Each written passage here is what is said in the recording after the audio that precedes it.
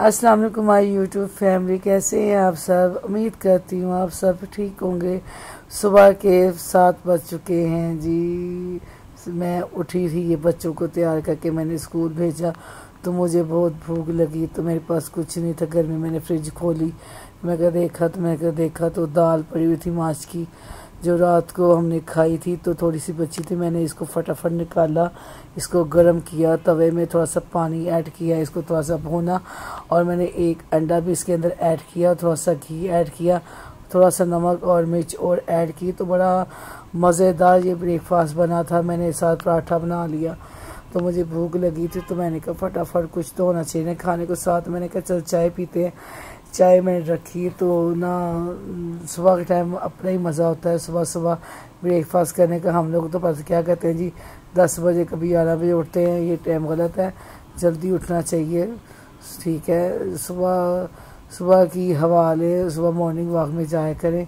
तो बड़ा अच्छा मौसम होता है और दिल को राहत मिलती है मॉर्निंग वॉक के।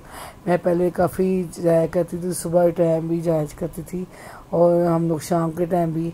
मैं अकेली हमारे यहाँ ना यहाँ मिचल है तो मिचल में मैं अकेली तकरीबन चार बजे निकल जाती थी, पाँच, साढ़े पाँच बजे, डेढ़ घंटे बाद, डेढ़ घंटे वॉक करती थी, फिर मैं घर आती थी। तो बस सब तबीयतें इजाज़त ही नहीं देती, बस घुटनों में दर्द, ये मसला, वो मसला बच्चे तंग करते हैं, वो काम वाली भी नहीं आती तो बस इस वजह से घर से बाहर नहीं निकला जाता। वैसे मेरा दिल तो करता है कि मैं वहाँ पे मिचल में जाऊँ, वॉक करने तो मैं आप लोगों को अपना मिचल दिखाऊँ, कैसा है हमारा मिर्चल तो ये बड़ा मशहूर है, मिर्चा की जैम, मिर्चा की टमाटो कैचअप मिर्चा की चॉकलेट, जुबली वगैरह और स्वीट्स वगैरह, काफ़ी कुछ है मिर्चा का, अचार आप लोगों ने सुना होगा। तो ये बड़ा मशहूर है हमारे यहाँ। चलो एक चीज़ तो मशहूर है, ये देखिए जी, हमारा ब्रेकफास्ट रेडी है। माशा ज़बरदस्त दाल अंडा तैयार है। और पराठा मैंने पहले ही बना लिया था, इसकी, इस, मैंने ये वाली आपको पराठा बनाते हुए नहीं दिखाया। रेसिपी माशा ज़बरदस्त ये बना है। तो चाय भी बड़ी ज़बरदस्त बनी है, मैंने पी के भी दिखाई है। अभी हम पराठा तोड़ेंगे, मेरा ना ट्राई पर पता नहीं चाह ने किधर रख दिया तो मुझे नज़र नहीं आ रहा था। वैसे भी सुबह के टाइम कौन ट्राईपॉड को सेट करे। मैं सेट कर किस नहीं रख सकती? क्योंकि ना मसला ये है कि मेरे घर में ना स्पेस नहीं है, जगह नहीं है कहीं रखने की, क्योंकि मेरे बच्चे छोटे हैं, वो अफलातून है, कभी आते जाते एकदम से आते हैं।